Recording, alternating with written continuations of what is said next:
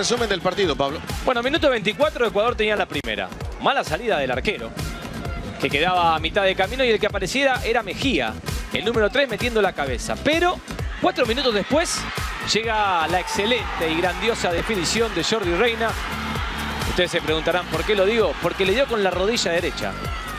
La pelota la mata con el pecho, se mete en los tres centrales y ante la salida del arquero se la pica con la rodilla, insisto, marcando un verdadero golazo y poniendo las cosas 1 a 0.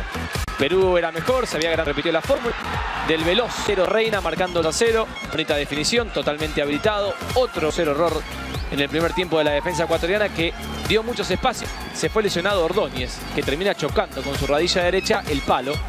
Una jugada con muy poca suerte, ahí cae el defensor y no pudo jugar. El segundo tiempo fue todo al revés. El descuento, un golazo con letras en mayúsculas de Uchuari. Primero, por la manera de dominar el balón, metiéndose entre los tres defensores. Y después, ese remate impresionante aquí.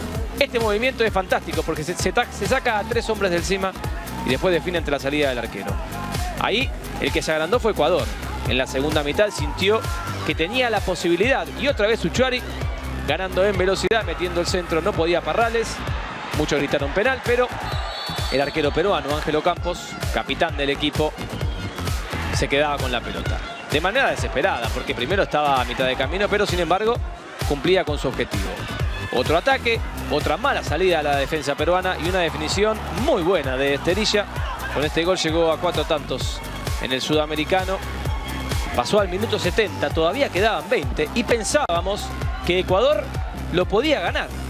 Porque por lo mostrado en el segundo tiempo, sobre todo con la levantada de Uchuari, que participó de todos los ataques del conjunto ecuatoriano, tenía chances. Pero sin embargo, cuando el partido se moría, aparece un centro desde la izquierda de Edwin Gómez.